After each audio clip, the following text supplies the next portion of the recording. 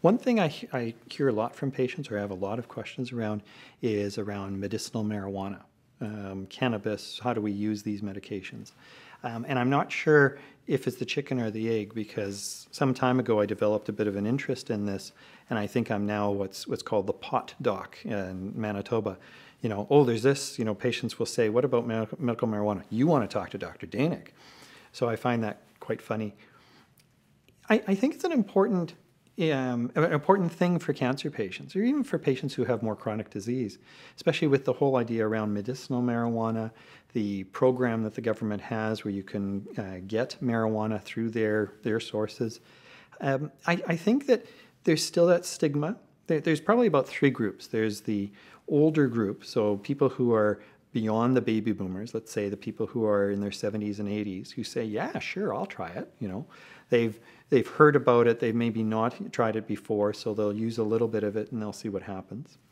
There's the baby boomers who have been taught to just say no, and it's so foreign to them to take this. You know, they've been uh, taught that it's an illegal drug, it's a gateway drug, all this sort of thing, and so they have more difficulty with that.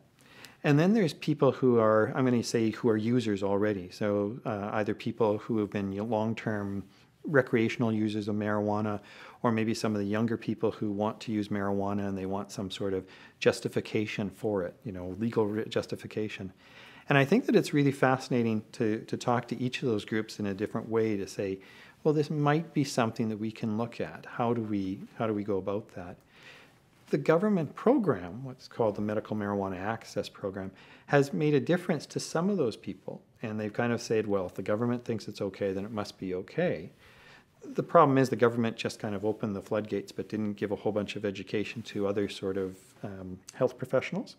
So that's one project that I do on a national basis where we're trying to deal with some of that education.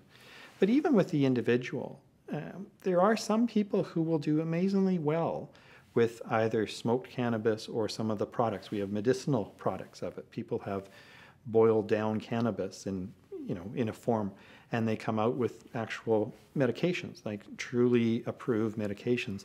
And some of them have uh, fantastic effects. Many people I've, I actually have some people who are on a chronic dose of this and they've been able to get back to, I, I would say, a more normal life. I wouldn't say normal, but definitely a more normal life.